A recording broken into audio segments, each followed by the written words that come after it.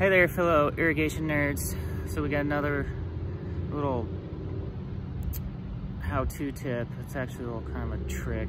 Well, not really a trick, but a device we use not very often, mostly on commercial sites where we have one bad wire. We might have you know, 20, 30 good wires, and then there's one bad wire. In this particular site, we've been, we've spent about a day and a half looking for this one bad wire and we fixed, found some damaged wires, but that didn't fix the connection.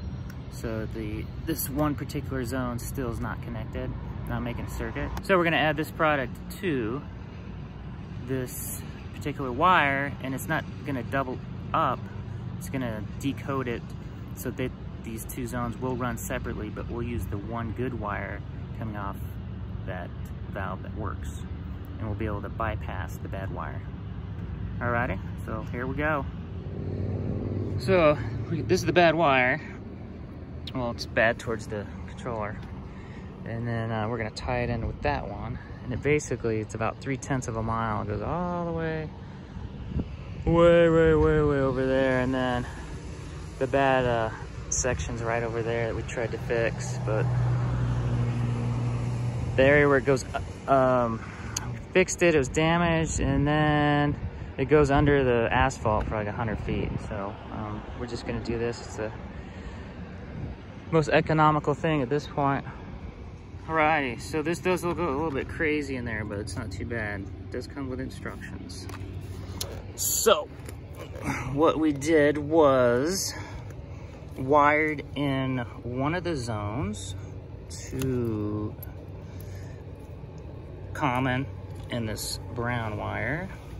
And then that zone, the other zone, we did uh, the blue let's see here, sorry. This blue and this white. So you can see the blue one runs under there into that guy. And then we took the good wire that goes to the controller, wired it into the orange and the white. Orange that goes to the controller and then the common that goes to the controller. So both of these go to the controller. And well, I'm gonna clean this up a little bit, but there you go, like that.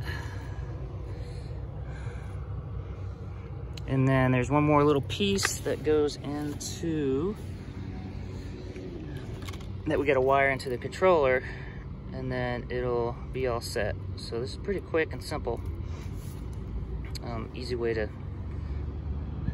fix a bad wire that you can't find.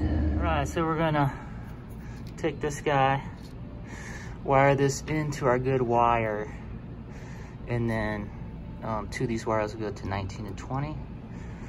And uh, I'll show you afterwards, since I only I need to use my two hands, how that works. Okay, so we got our little adapter here, and this is coming from uh, the field. I showed you the orange wire connected to this way out in that box. Connect that up here. And then blue's connected to 20 and brown's connected to 19. So you can see here, there's a no connect warning. So I'm just gonna uh, oh, looks like I checked it already and there's a cleared it up, so we got a connection. We're good to go now.